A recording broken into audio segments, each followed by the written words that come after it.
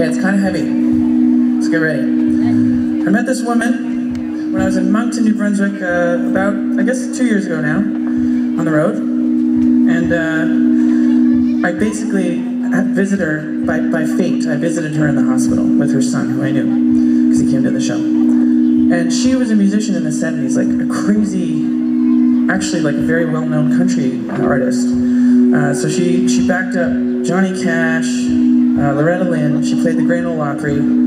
She walked from Toronto to Nashville for a publicity stunt. And she also got to visit Elvis at Graceland. And her name was Norma Gale.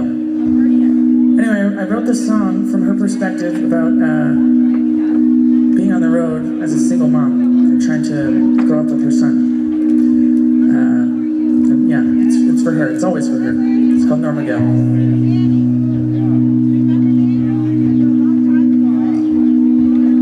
We stayed in White River